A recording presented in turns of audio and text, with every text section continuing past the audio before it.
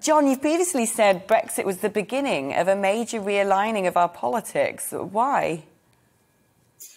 Well, the reason for that is that the values that are associated with whether or not people are for or against leaving the European Union are very different to the values that are associated with the traditional argument between left and right. And Neil Kinnock, sorry, Stephen Kinnock, sorry, made it very clear.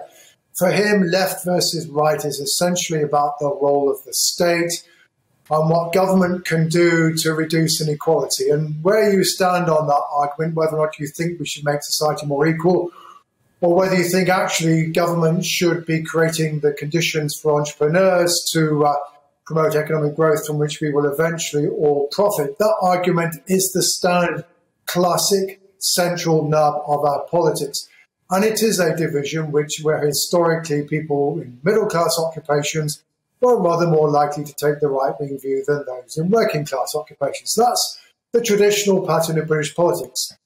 Brexit, however, was not about the role of the state in reducing or otherwise inequality. It was much more about essentially uh, do you think that we should have the kind of society in which people basically decide for themselves what they do, or whether we need a society in which there's a degree of homogeneity and that therefore, for example, you know, people should have the same sense of national identity, speak the same language. Oh, and yes, and by the way, valued the importance of the United Kingdom um, as a representation of British identity, uh, should be able to make its own decisions. Now, the point is that that argument between what I would call social liberals on the one hand and social conservatives on the other that division's always been there. It's always been a bit of our politics. Social liberals, a bit more likely to vote Labour. Social conservatives, a bit more like to, likely to vote Conservative. But it's not until recently been anything like as important.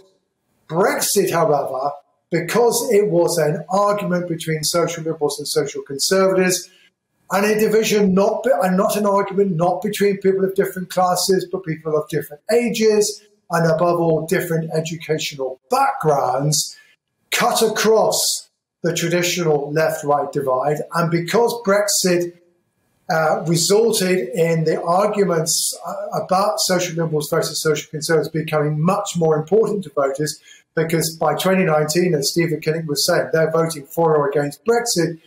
That is what is essentially res- responsible for the fact that our politics has been reframed, repositioned, and now looks very different. But if you're going to understand this, you have to realize that our politics is no longer about left versus right as traditionally defined. It's now also about social liberals versus social conservatives. And therefore, it is more complex and more complicated. Um, uh, but it, uh, that still uh, allows for the possibility we can become pretty heavily polarized as we definitely have been over Brexit in the last few years.